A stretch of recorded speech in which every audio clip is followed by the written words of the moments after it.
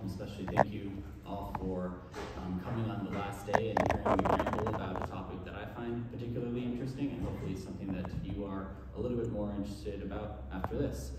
Um, so, uh, my name is Mark Rosenberg. I am a fourth year neurology resident at the Medical University of South Carolina in balmy Charleston. Whenever you want to come down, you're always welcome. And I'll be, um, I'll be speaking about spaceflight and its potential effects on intracranial pressure.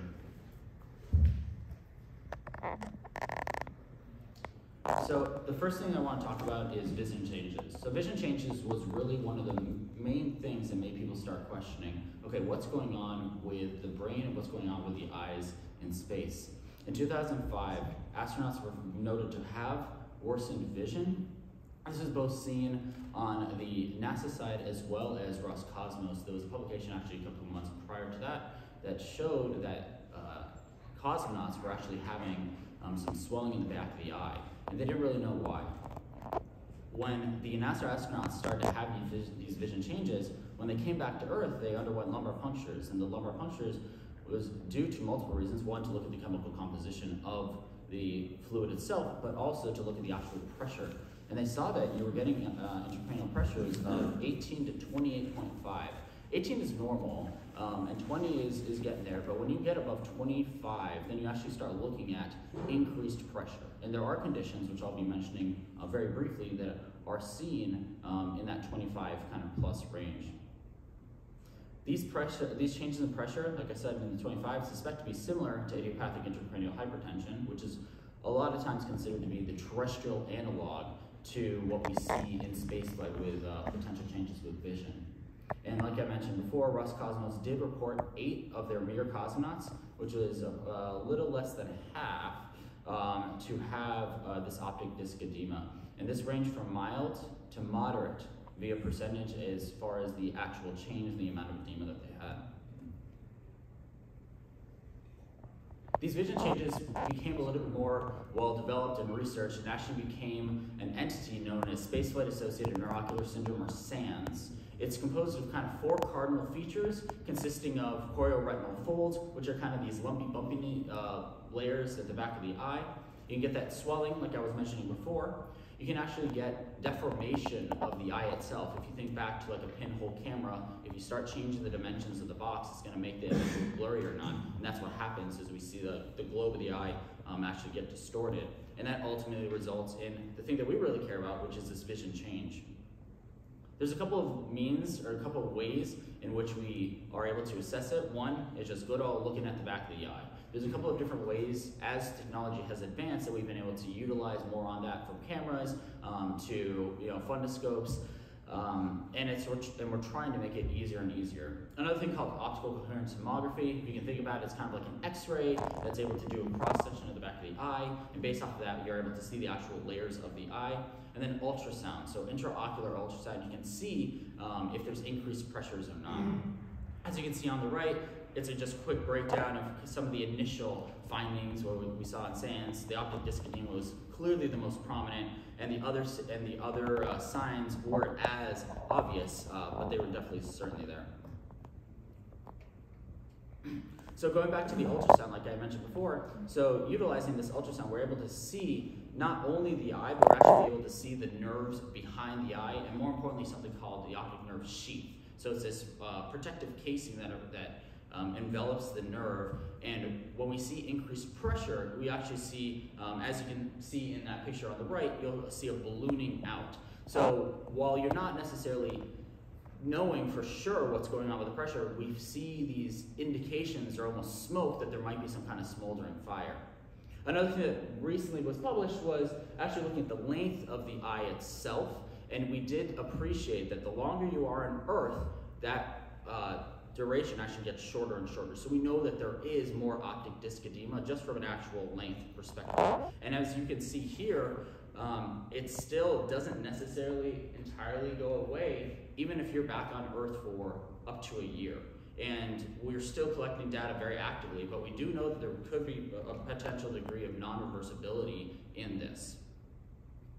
So now we get to the meat and potatoes, the itself. There's a lot, but I'm going to kind of simplify it. Um, the brain loves blood. It obviously loves nutrition, and it's going to give you a lot of uh, kind of good feedback. One of the main reasons how it does that is uh, carbon dioxide. Everybody thinks, oh, your body runs on oxygen, but your brain is kind of counterintuitive. It's the opposite. When it senses too much carbon dioxide, it wants more blood. And that's what this uh, cerebral uh, perfusion pressure is part of. You have this autoregulation component where if you have low uh, oxygen or high CO2, it's going to want to gobble more up. So you're going to see that kind of come in. That's what the PaO2 and the PCO2 is on the right side. And that's going to increase cerebral blood flow. When someone has had a really catastrophic uh, brain injury, we don't want more fluid coming in, we put them into a coma, we kind of calm the brain down, and we also kind of turn down the, uh, we I'm sorry, we turn down the CO2 to not uh, want more perfusion. And that ultimately leads with increased cerebral blood volume. The more blood that's in, the more that's going to stay there. That blood is, as anybody traveling here, if you didn't get up in the plane, you know that your legs get more swollen if you're not moving around. And that's what happens. If you have more stasis of blood, there's a higher likelihood that that fluid's going to start leaking out. And that leaking out can either result in increased CSF or it can cause problems with the actual obstruction with uh, the veins. That's ultimately going to lead to increased cerebral volume and then lastly, increased pressure. Now, why is that? And that's why because we have something called the Monro-Kellie doctrine, all right? Basically what that is, is something that is in a hard, hard case, pressure's gotta go somewhere, okay? And the problem is that if you get a mosquito bite, your arm can swell and it's fine. But if you have an injury or if you have some other kind of problem with, with pressure, we don't have that option. We really only have two places where pressure can escape, behind the eyes and more critically at the brainstem. And so when we have these sudden influxes of increased pressure, like if someone has a really bad intracranial bleed, that can ultimately lead to what we call herniation, or when the brain will actually start compressing on the brainstem. And that's obviously a neurological emergency. The normal brain is broken down with a couple of components. We have the veins, we have that oxygen-rich arterial blood, we have the actual pink brain tissue itself, and then the CSF. IIH, which was that phenomenon that I was telling you about, this increased intracranial pressure, this increased uh, idiopathic hypertension, it causes headaches. And the reason why it causes headaches is because you're getting increased venous obstruction, so you can't get the blood out. That's going to lead to increased arterial flow as well, and that's ultimately going to compress the brain a little bit, and it's going to increase the CSF. So all of those, uh, the vein and the arterial and the CSF is going to ultimately compress on the brain. It doesn't like it. That's why they have headaches, and that's why they have vision changes. SANS, on the other hand, so SANS, we do see, um, and I'll get to it in a couple of slides, an increased venous component. Um, the arterial side, we don't notice it as much as we do with IIH, and we don't get headaches, oddly enough, in SANS. You would think if it's so similar to IIH that we would, but it's, it's clearly demonstrated that it's not exactly the same. But more importantly, with, with um, a lot of neuroradiologic imaging, we do know that over time there is an increase in the ventricle size, so there is more CSF, there is more of that fluid hanging out in the skull. But again, that's counterintuitive. Why are we seeing increased vein, not too much of an increase in arterial, a massive increase in CSF, but we're not getting that really obvious cardinal features of headaches. And that's why we think that that might be more associated with SANS than previously thought. Getting back to the venous side of things, uh, Serena Auñón-Chancellor was uh, a member of a study where they basically took astronauts, 16 of them, and they gave them ultrasounds. And they wanted to look at the actual velocity of blood in their jugular, um, in your jugular vein. And what we saw was there was actually not only a stasis, but actually a retrograde blood flow in the veins. Um, so the blood that was going into the brain, it wasn't necessarily coming out, and we didn't really know why that was happening. That was obviously concerning because during the same study, they actually found that someone had developed a up to them as a special payload in order to break it down. And so there's obviously some heavy, heavy clinical implications outside of just the SANS component. In October of last year, uh, my group published um, some findings where we took venograms, which is this imaging modality, it's an MRI venography, um, this imaging modality that really lights up the veins. And as we can see on the left, we had uh, astronauts that either had the cardinal uh, features or symptoms of SANS, um, and then we had ones that didn't. And the ones that did, you can see on the left, the astronaut with SANS pre-flight, and then you can look at it to the right, you can see there's a substantial enlargement. Now, keep in mind, this is, a, this is probably the most obvious of the pictures because I'm certainly not a neuroradiologist, um, but even I can see that, and, and I'm a little blind as well. Um, but more importantly, on the right side, you don't see that change. So there is something there that the people that have the propensity of developing SANS might have some problem with the veins, they might have something else that we haven't quite determined yet, but more importantly, the people that don't develop SANS have some kind of neuroprotective component, and maybe that's why they're not developing those symptoms. So going back to the carbon dioxide, like I mentioned, we know that when you get a bunch of people, especially now that we're having more and more and more people going to the International Space Station, we breathe in oxygen and we breathe out CO2. Now, unfortunately, there's only limited amounts of CO2 scrubbers, and this is something for any of you that read Scott Kelly's book, this is something that he really, really, really complained about. He mentioned that, uh, you know, his uh, significant other time, she knew when there was increased people on board because he would be cranky. He'd be complaining of a headache, and so, you, you know, they kind of put it together, oh, it's just because you're not breathing as much oxygen as you the carbon dioxide levels on the ISS are increased and it does fluctuate. When we had the nine people on board not too long ago, there was an unprecedented spike in CO2 just because the sheer nature that you had more people. And you see when people are exercising as well, um, they try and balance out when to exercise and when not to because they don't want to go outside those parameters for CO2 so that people don't start having the, the mood problems or the headaches. The problem is, as I had mentioned before, we know that CO2 is really important for the regulation of blood flow in and out of the brain. So, are we getting these increased pressure spikes when someone's exercising? Is it because they're actually exercising themselves, or is it because they're breathing? The last thing to mention is gas does not quite operate the same in space as it does on Earth you'll actually get this phenomenon where you'll actually get bubbles around your face. And so these people that just by a transient nature of being in the ISS, they're gonna have increased CO2 levels from having this gas bubble that's kind of just hanging around because it doesn't distribute equally. Of course though, NASA is like severely, severely and heavily considering this. That's why they're revising the carbon scrubbers. They're trying to think, okay, how can we increase the efficiency of them? Should we redesign them? Should we add more? And they're continuing to kind of, of, of assess this. The graph on the left, it just kind of demonstrates that with more CO2, uh, we know that cerebral blood flow increases, as I mentioned before.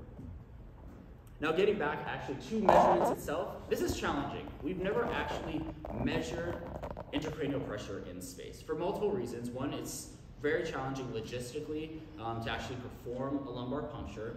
Um, two, there is some inherent risk with it. Um, you know, it's a little bit more of an invasive test, so it does require special tools and special skills. Um, and so because of that, we've performed other tests that is our next best option. The two mainly are, um, the top graph actually demonstrates when we took a chimp. So we actually had a, a chimpanzee that underwent ICP monitoring. And what you can see is on the right side, there's the waveforms. And the key, the key thing that I want you to look at is there's kind of three big points of it. There's the initial increase, if you look on the top left, there's that increase in that, that, that spike, then it comes down, there's a little bump, and then it goes back down. That's normal. But what you see when they went up into space, which is on the right side, it was much more erratic. It was all over the place. It was much more dramatic as well. So we know that there's probably increased fluctuations in ICP, but again, this is only in an animal model. The other thing that we did was something called uh, the Ommaya Reservoir studies. So Ommaya Reservoir, what it is, it's a port that's basically been planted inside the skull as a means for fast delivery of chemotherapy for patients that had brain cancer. They took people that recovered from their brain cancer who still had the Ommaya reservoirs in place, they put them on parabolic flight, and they actually removed a little bit of fluid while they were in parabolic flight because it's not quite as logistically challenging as doing a lumbar puncture. What they noticed uh, was something similar to it as well, where you do get um, a degree of variability with ICP, but it wasn't as quite it wasn't as obvious as it was for the, the animal model. I will say though, there are some caveats, of course. One, these people did have pathology. So that's going to change just the natural um, kind of order of how the brain operates when it comes to blood flow because it has been um, has been introduced to, to substantial degrees of, uh, stress. And the other thing is, is that there's also a foreign body that's also been placed. So you have to kind of think, all right, is that providing some kind of outlet for that pressure? Because remember, as I mentioned before, when you only have behind the eyes and the brainstem, by you, you drilling a hole to have this catheter, you've now introduced another potential exit valve. With the Ommaya Reservoir study, we did see that even complete removal of gravity doesn't pathologically elevate the ICP. But as we had seen before, well, when they come back to Earth, they do have potentially pathologically elevated ICPs. So what's happening between that, that you know, being up there and returning down, but also more importantly, it being a parabolic flight, it's very, very, very short. We're not looking at the two weeks that's required in order for people to first develop the signs or symptoms of SANS. So it's not exactly perfect, but it's the best thing we've got. That leads me to my next um, kind of step, and the thing that I'm the most optimistic about is Polaris Dawn. So Polaris Dawn, uh, Kidd Poteet, he's actually going to, he volunteered himself to have an intrathecal monitor implanted for the whole duration of flight. So what he's having is he's gonna have a little uh, transducer inserted into his lower back, and it's just gonna be doing nonstop assessments on the pressure. And so we're gonna see what the pressure is like while it's going up, while it's up there, and while it's coming down, which is really, really exciting. Of course, he's not gonna be there for those two weeks, which is what a lot of us would really love to see, but what's happening from you know, day zero to day 13 that people don't develop SANS or you know the signs or the symptoms, and then suddenly they do. But this is going to provide a lot of insight. We're also looking at um, advancing imaging modalities. My group in Charleston, we did the first MRI in motion. We have a portable MRI scanner that we threw into the back of an ambulance, and we actually took pictures going 55 miles an hour. The hope is to further kind of mobilize it, put in an aircraft, and eventually get it to uh, you know suborbital flight or beyond. But I think the biggest thing is is that we're going to just have to do more and more and more research. We need to integrate more imaging modalities. You know, the optical coherence tomography, ultrasound, all those are great, and there's innovations constantly uh, being out. Um, so I think that's that's uh, the next frontier, and I really do think this is a very active and critical area of research because, especially when we move further and further out, the degree of vision getting worse, the degree of other implications with abnormal blood flow, and even the symptoms that we might see with cognition might be all really tied into how the intracranial pressure is being um, ad adapted or changed in spaceflight. Uh, and that's why it's really, really important that we all kind of put our heads together and try and figure this out from multiple angles. Thank you.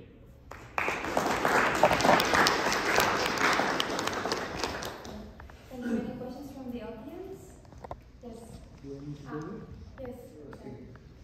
Are, is there, is there any progress being made towards uh, non-invasive measurements of the ICP? Because that would really open up the whole thing for, um, for, for research. Yes, yes, sir, absolutely. So, uh, yes, there's, it's a very, very, very hot, active um, area of research. They're trying to look at I think probably the main leader right now is ultrasound and trying to utilize different ultrasound uh, depths, modalities, um, and sequences to try and help illustrate CSF flow better. But I think ultimately, really the it, getting back to the foundations, flying somebody up there who's a physician or someone who's extremely well trained and comfortable doing a lumbar puncture, trying to do just pure surgical technique and, and just getting it done will be the most demonstrative of what we're seeing. Thanks.